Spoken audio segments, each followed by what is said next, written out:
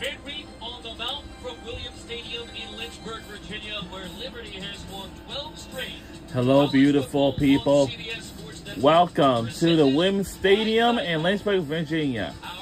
Home of the Liberty Flames will take on the Jackson, Jacksonville State Gamecocks. Jacksonville State and Western Kentucky both still undefeated in Conference USA play. Liberty coming off its first loss of the season. So Jacksonville State and Western Kentucky atop CUSA. Sam Houston is now 4 and 1 in conference play. Liberty 3 and 1 in CUSA.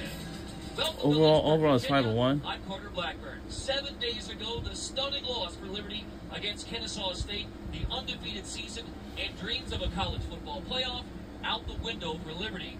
Head coach Jamie Chadwell was especially frank with us yesterday, saying, honestly, I don't know how we'll respond. So we welcome in the College Football Hall of Famer Luke Kuechly, and that's the major question for Liberty. How do the Flames respond? I think a lot of it starts with leadership on both sides of the ball. Jerome Jolly on the defensive side of the ball, Kaidon Salter on the offensive side of the ball. Those guys got to step up and have a, a unified message for this team that, hey, regardless of what happens tonight, we got to keep moving forward. And a tough task against Jacksonville State is one four straight with one of college football's toughest quarterbacks, Tyler Huff. Tyler Huff has been great for them. He's, he's a big part of what they do on the offensive side of the ball. 350 yards rushing the last four games. He's got over 600 yards on the year. The thing that separates him from a typical running quarterback, he's big. He's got great size. He's six foot, 215 pounds. He's just a big physical body. Talking to these coaches, they tell us how competitive of a guy he is. Two rushing touchdowns a week ago. For Liberty last season, everything went right. Undefeated regular season. They avoided injuries. This year, not so much. Tonight, they are potentially without their top three wide receivers. Reese Smith did warm up. He will try to go. Austin Henderson is out in tight end. Happens a whole lot more on quarterback Kaidon Salter. Absolutely. And I bet if you asked him, he'd love this. He wants it on his shoulders. I bet there's going to be more in the run game with his legs. He's got to rely on some of these guys he's not typically used to throwing the ball to. And that leads us to our keys to the game. Keys to the game for Jacksonville State. Hey, stay the course. Keep running the football. They've been so effective. On defense, keep the ball in front of you. It's an aggressive So our offense, like so playing key to hard, our game is They're coolly gonna needs to heat up gonna line on and rush. limit penalties. Liberty University, you got to keep cool. Yeah, we You got gotta to, get him going, yeah, we take got to, of the pressure we off. got to eliminate the, those penalties. I'm telling you. On a beautiful night here in Lynchburg, Virginia, this is the sixth meeting between Jacksonville State and Liberty, the only meeting as conference opponents in CUSA last year in Jacksonville, Alabama. Was an 18-point Liberty win. 68 degrees as we get set for kickoff between Jacksonville Wow. State and Liberty. Not a music the thing that I do remember. So Jacksonville State started the year 0-3. They have And we are underway. Here we go. Max Morgan's kickoff. Throw that out the back of the end zone touchback. Jacksonville State ball at the 25-yard line. There is Tyler Huff, a sixth-year senior. Three years at Presbyterian FCS, two years at Furman. He was the so-called offensive MVP in 2023. First year at Jacksonville State. Didn't start the year, but he has been remarkable since he got the job. Now let's take a look at our record. Our record is five and one. That's very good. In Jacksonville State, Gamecocks, they only got four and three. Now the team we're rooting for today's. Are, I'm sorry. Our tonight's game will be is Liberty Flames. Run first offense for Jacksonville State. And Hawk will pull it and scramble for 15 yards on his first carry. All right, let's see how he do since it's not a turn yet. Offensive starting lineup. Yeah, right. Le'Veon Hartley has taken over at center after Brock Roby went down with an injury. Tre Stewart, the feature back. Absolutely. He's he's a slasher. He's physical. He's not the biggest guy, but he's certainly able to run through arm tackles. He's explosive in open field. Conference USA's leading rusher. Huff pulls it again, and Huff takes a pop.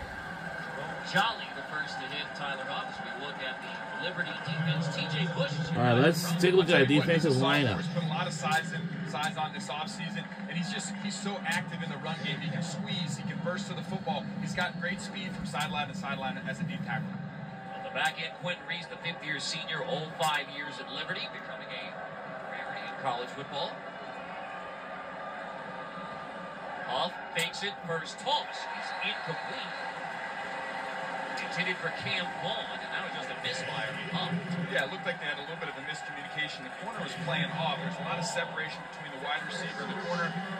I think that they were expecting. Tyler Huff was expecting just run a five-yard hitch, run five yards up, turn around, put it right on his chest, but he kind of ran an in-breaking slant, a little bit off, a little bit off right there. Big third down early here for Liberty's defense. Jacksonville State has not been especially good on third down this year either. On third and seven, Huff is chased, pressured. Wow! 30-yard line. On third down, Elite Barron and TJ. Whoa. Okay, this all starts with the guys on the inside. The two linebackers line up in the A gaps. Then they both go. They, and then they drop the two linebackers outside. So the linebackers line up on the outside looking like defensive linemen. They put the two big guys inside where typically linebackers would line up. They drop the outside guys, rush the big guys inside. Just too much pressure in the, in the beginning part of that that drive for uh, for Jacksonville State. So Liberty gets the early stop on defense. It'll be Jack Dawson, the senior from Australia, hunting to Ryland Green. Roll out, there's contact, no flag. The ball checks up at the 38-yard line where Liberty will down it because Dawson was on the roll, not protected from contact to the punter. I think that I think that ball might have hit a, a Liberty a Liberty player. That's why they jumped on it right there. Hit him right in the back. That ball got kicked. and hit a guy in the back on Liberty, and that's why they fell on the ball there. 31 yards on the punts. So advantage Liberty early.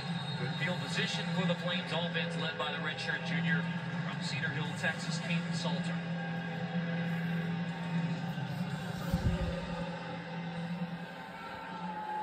Have an early discussion with our referee Rodney Burnett and his crew.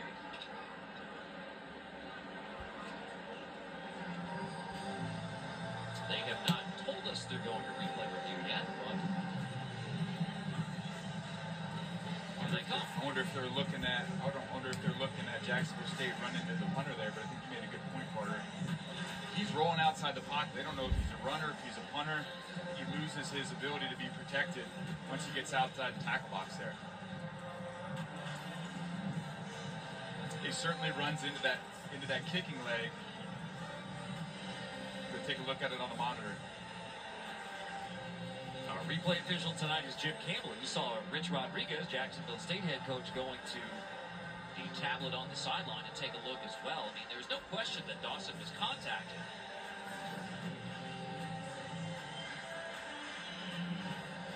Certainly contacted Liberty, but then the Flames get on top of the football. First down for Liberty. Well, good field position for Liberty to start this first drive on the Uh, uh, so So here's we on CBS Sports Network for tonight's game. Of total offensive game dual threat. He did have a pick left. I wonder if uh, Second interception. The B1. at 7:30 there is going to wow there is going to be women's volleyball. Oh, Penn State versus Michigan Wolverines. And then also at 9:30 there's going to be Washington versus Oregon. sync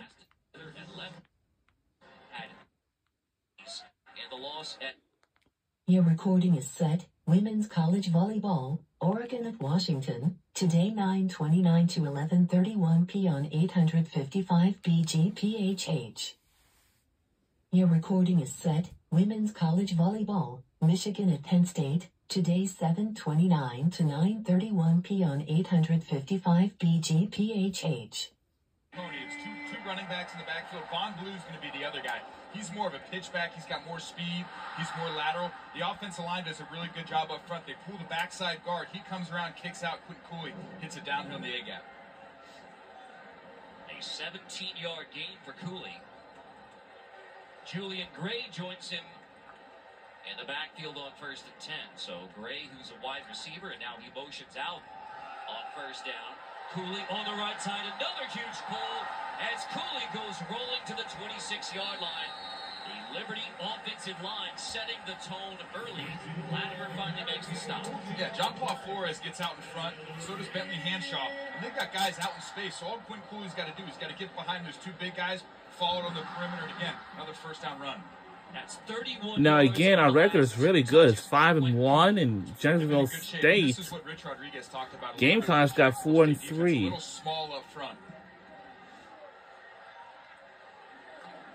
And we're halfway mid through the season, that's all. Again. This time, the Gamecocks ready for Quinton Cooley and no gain.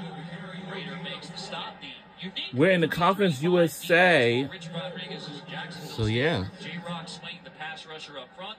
Reginald Hughes, second leading tackler. But Fred Perry at the star position, the playmaker for the Gamecocks. You go this three down front like this, you got to get a fourth guy at the rush from somewhere. And a lot of times it's been Fred Perry lines up in the slot, he lines up at backer, he lines up in the middle of the field at safety. Kind of is their utility guy on that defense. It's the tight end Hanshaw going in motion.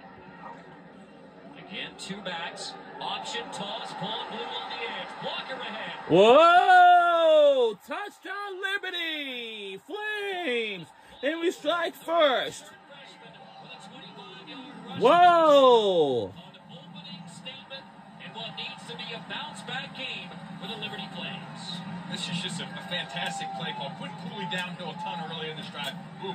They see that they're sucking inside. They're going to flip the ball to Vaughn Blue on the perimeter. And you see the burst that he has. He's just been a really good player for him. He got banged up last year when he came in as a young freshman. They had a ton of ton of confidence in him Wow. this year. It's good to go see him get out there in space.